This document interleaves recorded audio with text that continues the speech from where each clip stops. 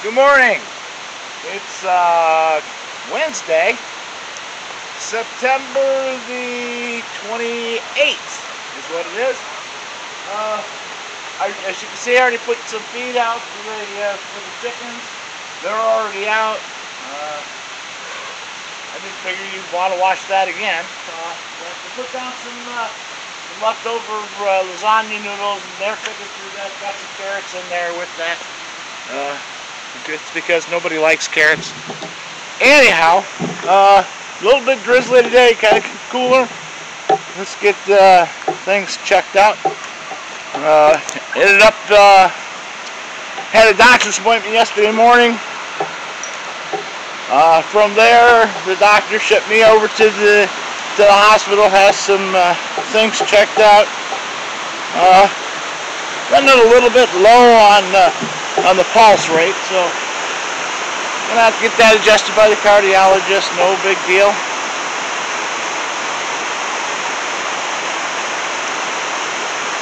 I told told the, uh, the my primary that I, I really feel fine, but it's getting a little bit uh, concerned because every once in a while you get a little bit dizzy. Uh, you know that makes perfect sense. Your your your uh, your pulse rate drops down kind of low. You start to feel a little dizzy. All right, so enough said about that. I'll be fine. Uh, regardless, I'll be fine. so, take a look at what we got. You can see the uh, foliage is changing. Look up this way right here, up through the opening there. You can see a few reds in there, but we still don't have a lot of rain coming. Uh, looks like Florida is getting hammered this morning. Uh, and it went south, more south than they had predicted. With that, my question is, is it going to come up directly up the east coast? I hear a truck up on the old road, another load of logs going off.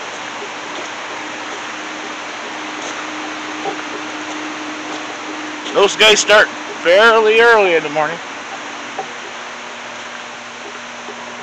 I don't know if that's because they like to or if it's just tradition. Because they used to haul the wood out out the woods on skids at night because everything would freeze up and it was more firmer ground. They'd actually make basically ice tracks to run to drag the uh, the timber carts out. So that's been a miserable job.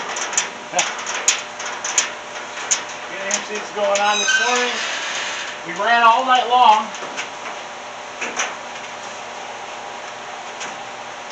Did not run all, all day yesterday, but we ran all night long last night.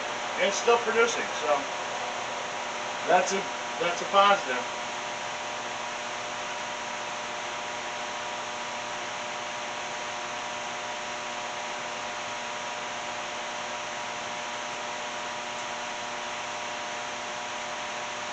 Got a little bit of uh, sniffles this morning, uh, a little bit of scratchy throat. We woke up at uh, 3 o'clock with a uh, motor vehicle accident call. We were just about to the to the scene and our uh, the, the primary fire department there called us off and said we didn't need to show up. So uh, we turned around, went back to the department, and everybody went home with the bed. But that's what that's what uh, we do as a volunteer fire department. You know, we do whatever required, whatever needs to be done. That's what we do.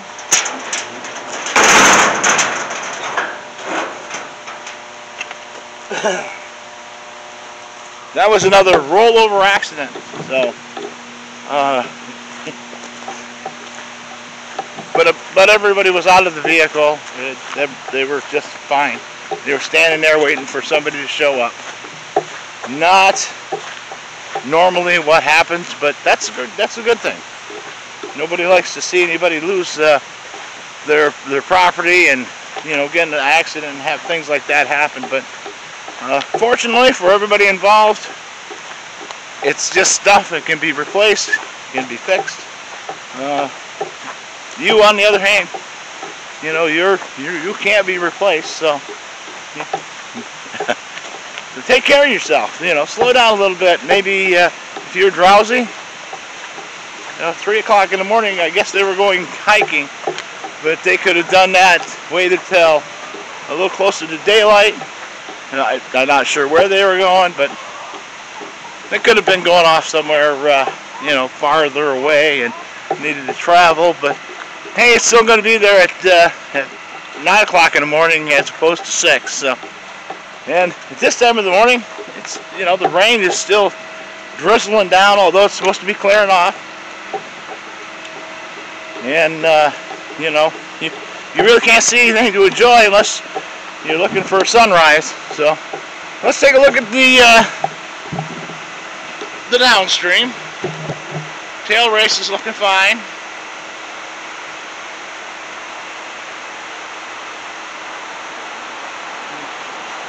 You can still see we're not we're not uh, overabundant. We had like a quarter inch of rain yesterday, so that helps. Get down here a little closer. Take a look downstream.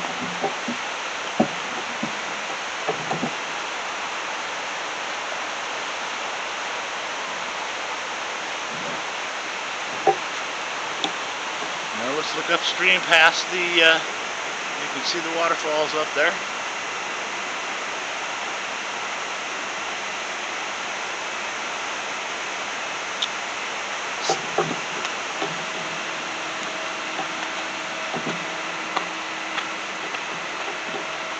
head back inside, see what's going on in there. Uh, uh, yesterday I uh, got rid of the eggs. Uh, none of them hatched.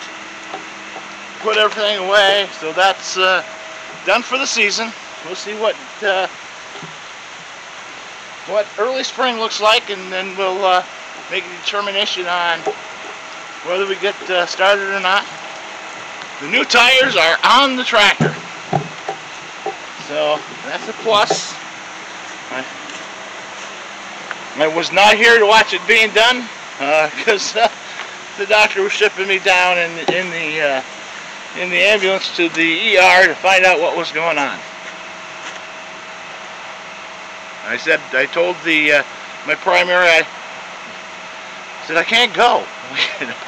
I got a guy going to change the tires on my tractor. Can't go today. I gotta go, I'll go later today.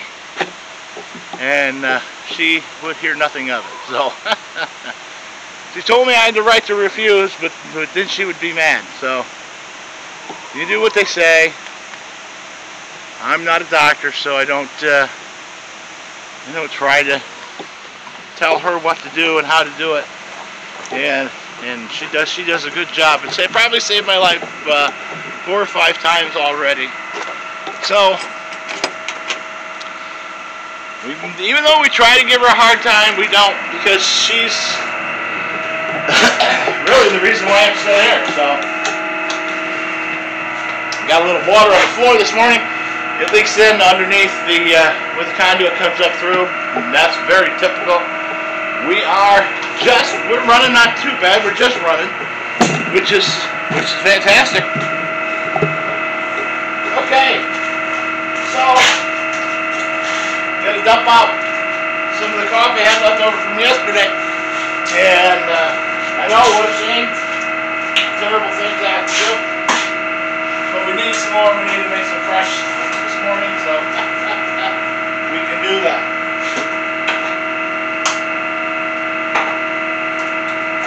All right.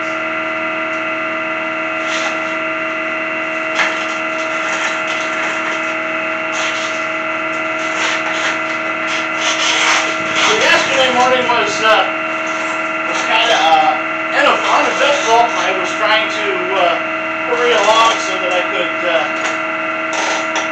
make the appointment at, at 8.30 and then uh, have the, uh, you know, the tractor, the tire guy show up at 9.30. So we try to coordinate all that. Of course, nothing ever works when we try to coordinate and things don't happen at our time. So we don't get overly excited about that. My granddaughter came down, met with the guy. He was, by the time she got down here, she said he was, he was already done. I almost had the second tire done.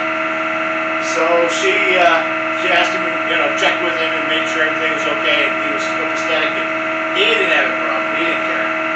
So anyway, uh, then yesterday, last night we had a, uh, a huge fire drill. Uh, we were we were doing some pump operations. We did uh, had a, it was a multi multitude multi fire department multi uh, scenario drill. Uh, we did tank ops, we did pump ops, we did tower and ladder work, we did uh, we smoked out uh, a building, and we did uh, uh, complex layouts.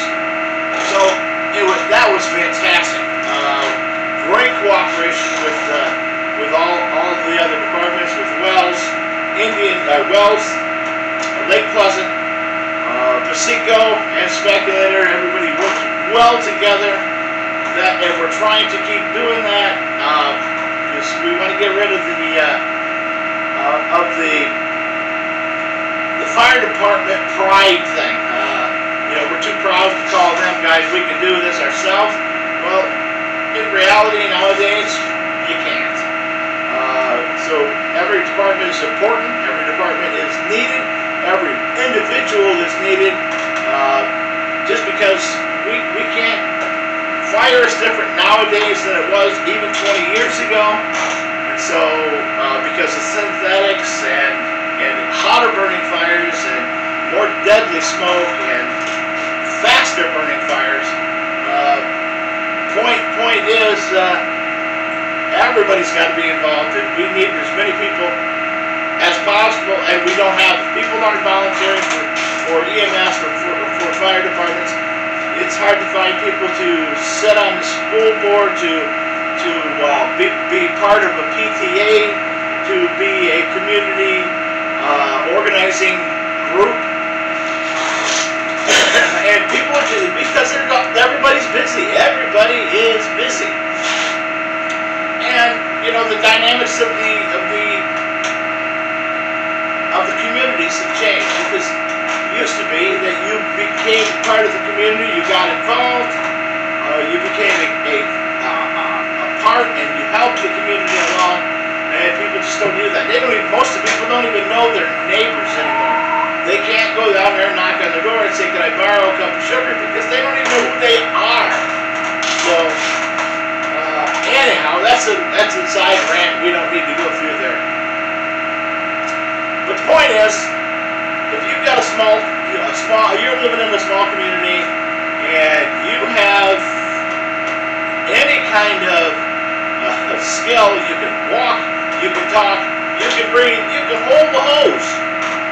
Uh, your fire department needs you. Uh, your EMS needs you. If you can drive the the, the ambulance, then you're you're you're you're needed.